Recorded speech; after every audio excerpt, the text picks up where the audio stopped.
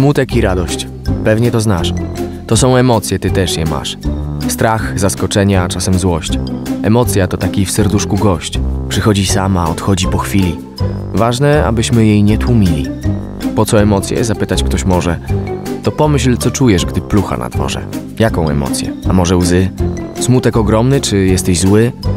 A gdybyś tygrysa napotkał na drodze, zapewne jak każdy wystraszysz się srodze. I pewnie też szybko, jak każdy z nas, weźmiesz ze strachu swe nogi za pas. Emocja pomaga świat lepiej zrozumieć. Choć z emocjami trzeba żyć umieć. Mówić otwarcie, co w sercu się czuje. Emocja napędza, czy może blokuje?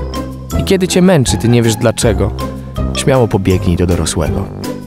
Bo dobrą wiadomość dla ciebie też mam, że z emocjami nie musisz być sam.